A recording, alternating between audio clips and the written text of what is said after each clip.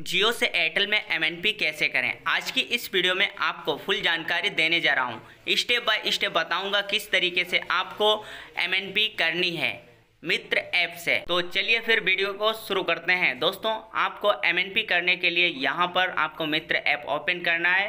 Prepaid digital acquisition पर आपको click करना है। आपको मैं फिंगरप्रिंट से एमएनपी करके दिखाऊँगा कस्टमर के आधार से। तो यहाँ पर आपको सेलेक्ट डॉक्यूमेंट टाइप पर क्लिक करना है यूआईडी कार्ड आधार कार्ड पर आपको क्लिक करना है।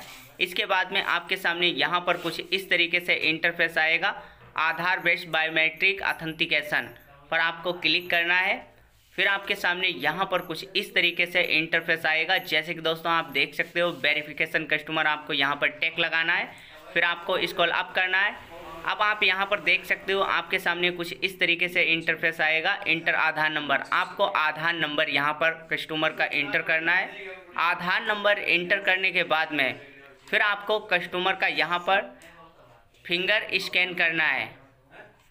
जैसे कि दोस्तों आप देख सकते हो, आधार नंबर आपको सबसे पहले इंटर करना है। फिर आपको यहाँ पर टैप टू स्कैन आपको कस्टमर का फिंगर यहाँ पर स्कैन करना है। जैसे कि दोस्तों आप देख सकते हो, यहाँ पर मैंने कस्टमर का फिंगर स्कैन कर लिया है, आधार नंबर इंटर करने के बाद में, फिर यहाँ पर कुछ इस तरीके से इंटरफेस आएगा। अब आपको इसको अप करना है, अब आपको यहाँ पर कस्टमर लाइव फ़ोटो क्लिक करना है। जैसे कि दोस्तों आप देख सकते हो कस्टमर का यहाँ पर लाइव फ़ोटो भी मैंने क्लिक कर लिया है। अब आपको यहाँ पर अल्टरनेट नंबर इंटर करना है, आप कोई सा भी अल्टरनेट एक नंबर इंटर कर सकते हो, किसी का भी यहाँ पर आप नंबर डाल सकते हो। जैसे कि दोस्तों आप देख सकते हो, यहाँ पर मैंने अल्टरनेट नंबर इंटर कर दिया है। अब हमें कनेक्शन डिटेल्स पर एमएनपी पर क्लिक करना है। एमएनपी पर क्लिक करने के बाद में फिर यहाँ पर फ़ोटो क्लिक करना है, जो हम मैंने एमएनपी कोड निकाला था, उसका फ़ोटो क्लिक करना है। फिर यहाँ पर प्रीपेड पर क्लिक करना है। फिर इसको अप करना है। जैसे कि दोस्तों आप देख सकते हो यहाँ पर MNP पर क्लिक करने के बाद में जो पोर्टिंग कोड निकाला है, उसका एक फ़ोटो क्लिक करना है। फिर आपको इसको अप करना है। इसके बाद में आपको सिम पर एक क्यूआर कोड होता है, उसे स्कैन करना है। जिसकी यहाँ पर सिम नंबर जो है, यहाँ पर आपको मिल जाएगा क्यूआर इसे स्कैन करना है। यहाँ पर आपके सामने जो सिम का डाटा है, वो आ जाएगा। इसके बाद में आपको यहाँ पर एफ़ आर सेलेक्ट करनी है। इस टाइम जो एफ़ आर चल रही है दो सौ निन्यानवे रुपये की चल रही है तो आपको दो सौ निन्यानवे वाली एफ़ आर को सेलेक्ट करना है। एडिशनल डिटेल्स पे यहाँ पर आपको क्लिक करना है सेल्फ एम्प्लॉयड कर सकते हो। और यहाँ पर एग्जिस्टिंग काउंट एक और आपको जियो पर क्लिक करना है। इसके बाद में फिर आपको यहाँ पर टेक लगाना है। अपलोडिंग लेगा। टेक लगाने के बाद में फिर आपको दोबारा यहाँ पर टेक लगाना है।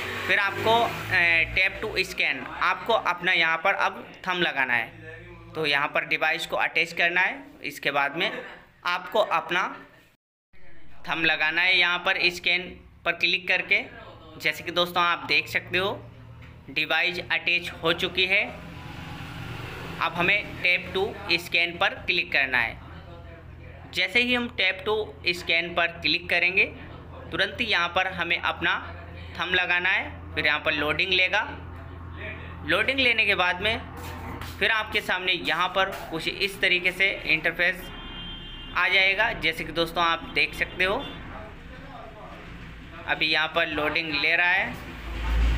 आप देख सकते हो यहाँ पर आपके सामने कुछ इस तरीके से आएगा। अब आपको इसको अप करना है, फिर आपको सबमिट पर क्लिक कर देना है।